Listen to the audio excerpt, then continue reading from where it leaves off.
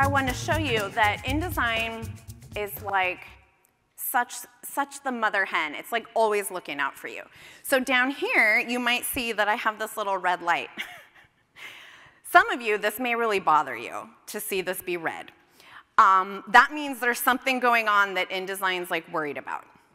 So what we can do is find out what's wrong. If we click this little down arrow right here, we can open what's called the pre-flight panel.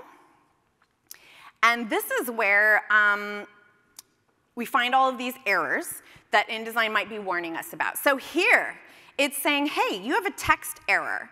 And if I twirl that open, it's saying you have overset text on page one. Overset text is that red box where you've got more text than can fit. So I always have overset text because I'm often just working with, you know, lorem ipsum and I don't care. But um, you might want to fix that. So you can twirl that down, and it even tells you it's the text frame on page three. And if we click, it takes you right to the problem. So if we fix that, I don't know how much text is in here, um, but you can You can um, clear that out and it would take care of it here. You can set up what you want it to warn you about. So if you're like, I never care about overset text, I always have overset text, I don't care, you can tell it to quit doing that. You can tell it to warn you if your images are in a certain color space, if they're below a certain effective resolution. You can tell it um, to just warn you about all kinds of things. That is called a pre-flight profile.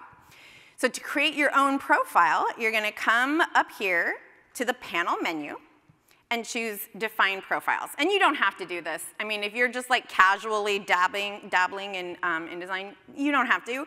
But if you're the person who's like, I can't stand this little red light, and I always do things this way, you can tweak this. So you can go in um, and give this, you know, uh, click plus down here, create a new one, my awesome profile. And then uh, you might have different profiles for different projects.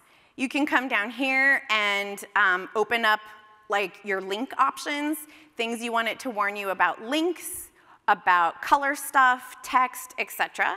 And then you save it. We click OK. And then here in that pre-flight panel, you select it. Which profile do you want to be the one active?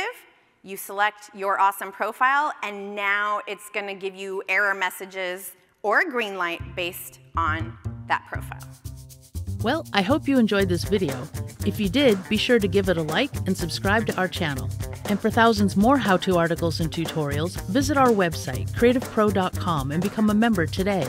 Thanks for learning with us.